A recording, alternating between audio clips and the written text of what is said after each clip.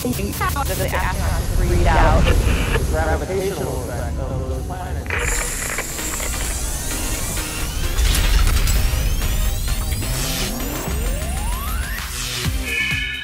Hi, I'm Matt, and this is NASA Now. Have you ever wondered why some balloons rise and others fall to the ground? Well, today we're going to learn how NASA takes enormous specialized balloons to extraordinary heights. That's ahead. First, here's what's happening at NASA Now. The epic battle between birds and pigs moves to space. NASA, in cooperation with Rovio Entertainment, released a real winner with the creation of Angry Birds Space. Space. Space. The game came about because of simple Twitter exchange about birds and pigs in space and has grown into an overnight hit. The game incorporates concepts of human space travel and uses physics to explore ever-increasing levels of difficulty. For more information, go to the NASA Explorer School's virtual campus and look for Angry Birds Space. Space. Space. Balloons have been a part of NASA research for decades.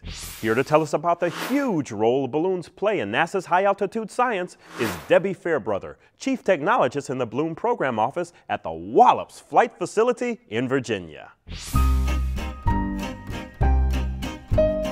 NASA's been using balloons for science research for over 30 years. The exploration that can be done on balloons is continuing to grow as we add the sophistication into our balloons and our pointing systems. Balloons are low cost and traditionally we get our payloads back. So you can work on a technology development where you're testing something, getting it back, recover, refly again. The most common balloon that we use is called a zero pressure balloon. It's called a zero pressure balloon because there's zero differential pressure at the base of the balloon. Our zero pressure balloons are made out of thin polyethylene film, like a sandwich wrap material. The standard balloon that I fly is about 660 feet long when it's made. So when it's inflated, it's over 400 feet tall by 440 feet wide. Think of a dome stadium. That's how big my balloons are when they reach float. The superpressure is a technology development that is intended to give us long duration at mid-latitudes. So the superpressure balloon is designed as a constant volume system.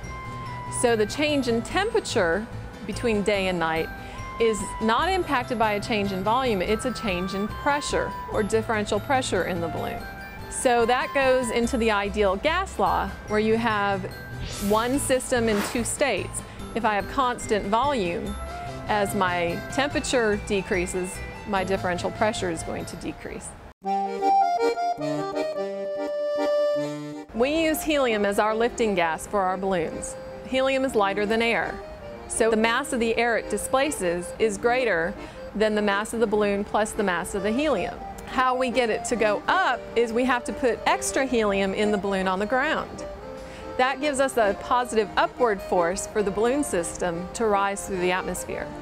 And once the balloon actually reaches the float altitude, then that extra helium we put in for the lift is vented out. Now, when I have the balloon at float altitude, one of the things that's important is temperature. A balloon is a thermal vehicle. If I have the sun go away, my gases will cool and my balloon will start to lose lift. Think about when you've had a mylar balloon for a week or two and it's kind of looks deflated. If you actually go and get your hair dryer and heat up the gas inside, it's going to reinflate. That's because you've got a constant volume and you're increasing the temperature, it's going to expand.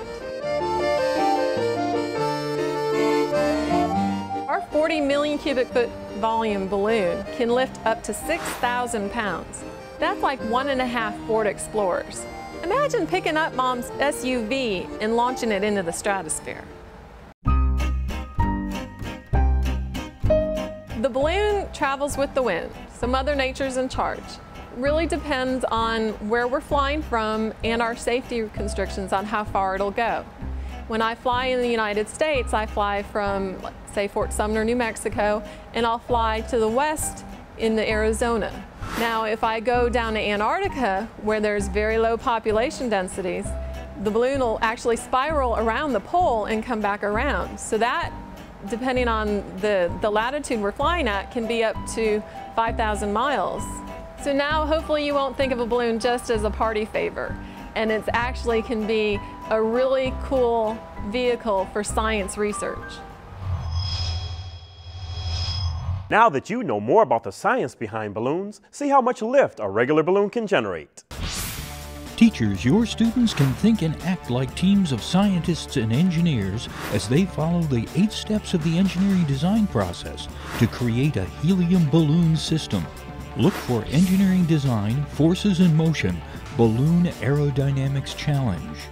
You'll find it on the NASA Explorer School's virtual campus. Well, that's it for NASA Now. Be sure to visit our Facebook page and leave a comment. We'll see you next time on NASA Now.